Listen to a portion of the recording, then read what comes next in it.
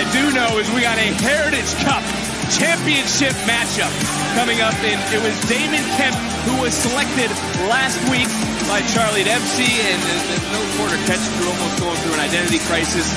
We'll talk about that later. But do you approve of the selection of the no quarter catch crew, at least how it appears right now?